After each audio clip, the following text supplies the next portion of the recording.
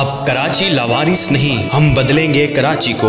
ना इख्तियारात का रोना ना ही वसाइल का। यहाँ पे हम पहले खेलने आते थे कूड़ा था वो होती थी। अब यहाँ पे तरीके लब्बाइक वालों ने साफ़ करवा दिया।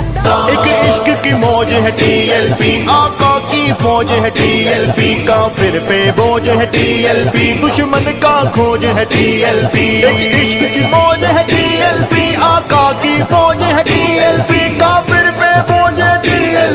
दुश्मन का खोज है टीएलपी टीएलपी का मुजाहिद हुकूमती नाअहली और बेहिसी पर लब्बईक वालों ने उठाए अमली इकदाम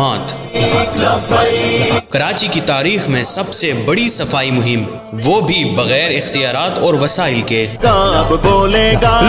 मुल्क की खिदमत करने वाली वाहिद सियासी जमात तहरीक लब्बईक पाकिस्तान ने कर दिया बैक वक्त 150 से जायद इलाकों में सफ़ाई मुहिम का आगाज़।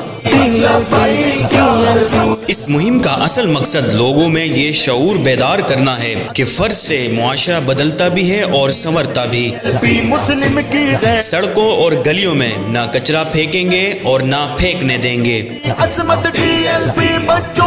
साफ़ सुथरा कराची और सेहतमंद। आवाम तो अब याद रहे तरीके लब्बईक पाकिस्तान का शोबा वेलफेयर इस वक्त कई फलाही कामों में अपनी मदद आपके तहत आवाम की खिदमत में मसरूफ अमल है जिसमें फ्री मेडिकल कैंप्स सस्ता राशन कैंप्स जरूरतमंद अफराद में कंबल और गर्म कपड़ों की तकसीम वगैरह शामिल हैं। आए आप भी इस तहरीक का हिस्सा बनकर फरसूदा निज़ाम को बदलने में तहरीक लब्बईक पाकिस्तान का साथ दें। रहेगा रिज भी तेरा नाम रहेगा जब तक सूरज